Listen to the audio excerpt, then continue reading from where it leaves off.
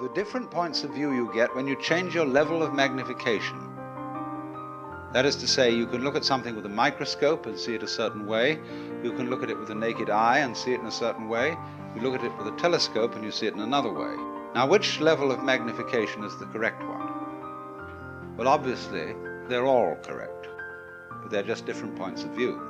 You can, for example, look at a newspaper photograph under a magnifying glass, and where with the naked eye you will see a human face, with the magnifying glass you will just see a profusion of dots, rather meaninglessly scattered. But as you stand away from that connection of dots, which all seem to be separate and apart from each other, they suddenly arrange themselves into a pattern. And you see that these individual dots add up to some kind of sense. That maybe you, you may add up to some kind of sense that is not apparent to you in your ordinary consciousness.